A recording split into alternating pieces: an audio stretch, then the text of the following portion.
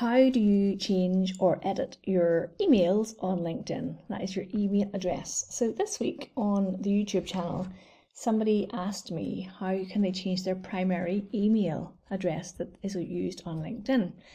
First of all, I want to show you where you can find out somebody's primary email address. So Adina is right on my screen here. I'm going to click on her profile. Adina is the founder of Social Insider. And if you go to contact info and click on that, you should see her email address. Now, Adina is hiding her email address. That's interesting.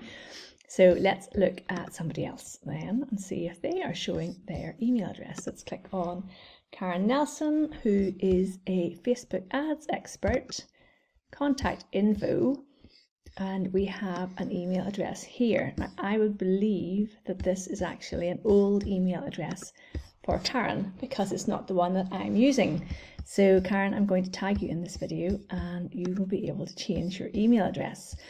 If you click on my profile and on the introductory card here, if you click on the contact info, you can see the email address here. So this is where it shows up. So there, there's three accounts all with different contact information, which shows you that everybody is doing this differently.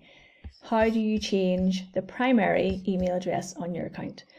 So go to your Me drop down menu and you're going to go to Settings and Privacy, which is here. We're going to go to Sign In and Security and it says email addresses. Now you'll see one email address here.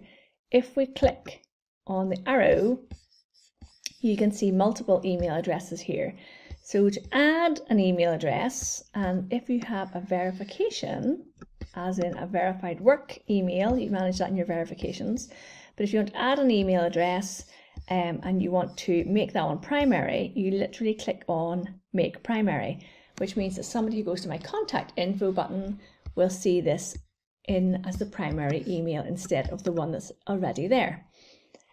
Why do you want to have more than one email address on your LinkedIn account? Simple.